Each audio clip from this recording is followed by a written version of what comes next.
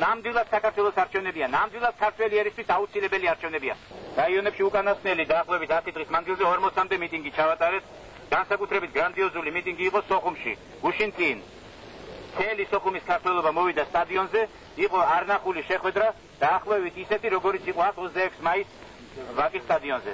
ქუთაისშიც იყო გრანდიოზული მიტინგი იმ დღეს ზესტაფონში და ყველგან რაიონებში ხალხი ამჟღავნებს რაღაც არნახულ ხარდაჭერას რვალი მაგიდისას.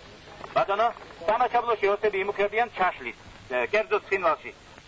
აზერბაიჯანელები ხოვენ, დებეშებს გვიგზავნიან, ჩაგვიტარეთ დემოკრატიული არჩევნები. ძირითადი 90% შეიძლება ითქვას მოსახლეობისა, ქართული მოსახლეობისა გვიჭერს ხარ. არა ქართული მოსახლეობის ნაწილიც ალბათ. ბოგდანოვკა ახალქალაქში ალბათ სომხური მოსახლეობა ჩვენკენ გადმოიხება. ვინ სომხეთის პატრიოტია, დღეს უნდა იფიქროს მომავალზე. და სოთეჟორი სომხეთს დიდი იმედი აქვს ჩვენთან კარგი ურთიერთობისა და ამიტომ უნდა შეგვიწყონ ხელი. ამალიეთით საარჩევნო ბლოკ ხვალი მაგიდა თავისუფალ საქართველოში გაერთიანებულ პოლიტიკურ პარტიებს.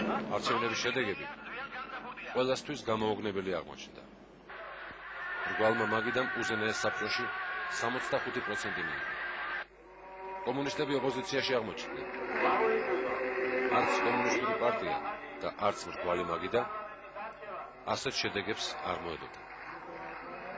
სახალხო ფრონტმა მხოლოდ რამდენიმე მაჟორიტარის გაყვანა მოახერხა პარლამენტში.